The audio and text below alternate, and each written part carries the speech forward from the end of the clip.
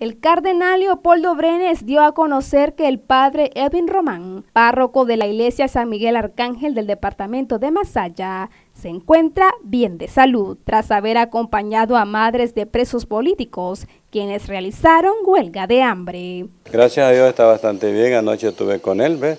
lo encontré de buen ánimo, poco a poco va superando las tensiones, yo creo que uno queda estresado después de estas cosas, pero me llamó la atención porque está con mucha esperanza, con mucha alegría, con buen rostro y espero pues que ya en unos días pues ya pueda recuperarse. El cardenal llamó a tener cuidado con las noticias falsas. ¿Y sobre la especulación que había sobre un cambio de parroquia, parroquia hacia él? Pues no sé dónde salió ese chisme, porque las decisiones las tomo yo, junto a mis vicarios de mi vicario general, mi vicario pastoral, son los que toman la iglesia. No escuchamos ni que nos manden firmas, ni que nos estén presionando. Las decisiones las toma el obispo junto a su vicario general y eso todos los obispos, igual el Papa. El Papa no se siente presionado para nombrar un obispo porque de manera especial, como no tenemos protocolo ni compromisos con nadie, sino que somos totalmente libres. Yo personalmente, cuando voy a nombrar un, un sacerdote, pongo la lista de los sacerdotes bajo la custodia del Santísimo, oro, oro, oro, y de repente como que el Señor me dice, a este hombre pone, al único que lo obedezco yo es a Jesucristo. Cardenal, sobre las críticas que usted ha recibido con la pasividad en lo que se tomó sobre la situación de, de Masaya, ¿qué podría decir usted? Que son personas verdaderamente necias, inescrupulosas, ¿ves?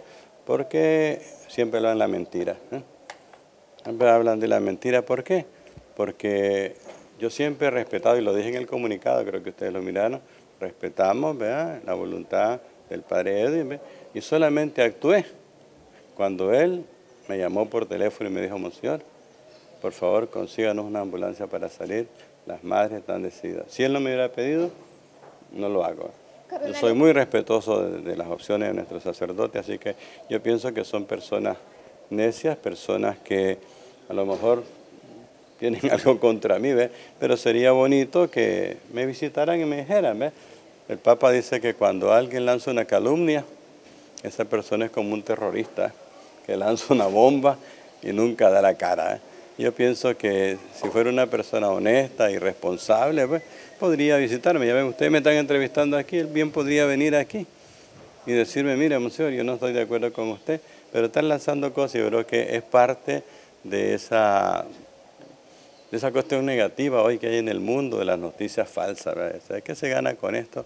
Más crear tensiones. Pero yo me siento tranquilo porque yo siempre recuerdo que el señor Cardenal decía, si la crítica que te hace no tiene fundamento, quédate tranquilo. Entonces yo prácticamente, gracias a Dios, pues no deja de molestarlo como es el Papa en un primer momento, pero nosotros inmediatamente perdonamos y oramos por aquellas personas. Y es lo que yo hago al final, pues, en primer lugar, eh, ustedes me han conocido, nunca yo en la entrevista que ustedes me han hecho yo correspondo con violencia, nunca pues, pues en primer lugar mi carácter no es así, ¿ves?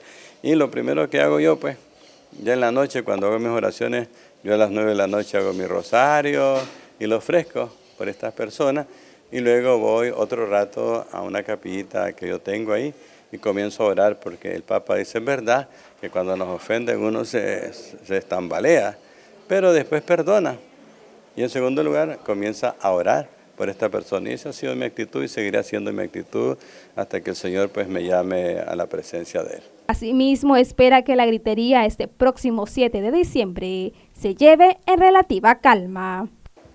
Bueno, yo creo que la Virgen es madre y la Virgen nos va a dar esa paz que todos necesitamos porque reine la paz. Casualmente ya están arrancando en algunas parroquias, por ejemplo, ayer estuve en una parroquia de Sagrado Corazón de Jesús en Museo Lescano, y esos arrancan mañana, porque ellos no hacen solamente nueve días, sino que hacen 14 días, ¿ves? y ya están amenazando que el próximo año van a ser 15, porque como ellos van a los barrios, entonces la, gente de los barrios les piden que lleven la imagen, ¿ves? pero en todas las parroquias vamos a comenzar el día 28, y la gritería, pues yo he dado orientaciones a los párrocos que me han preguntado que cada quien según el ambiente que existe en su comunidad, ellos puedan poner la hora. Nosotros aquí en la catedral, pues ya los padres con las hermanas se van a reunir para ver a qué hora vamos a tener. El año pasado hicimos toda una jornada de oración desde las 12 hasta las 4 o 5 de la tarde. Pues. Este año pues vamos a ver ya, ellos están reuniéndose para presentarme la programación para el 7.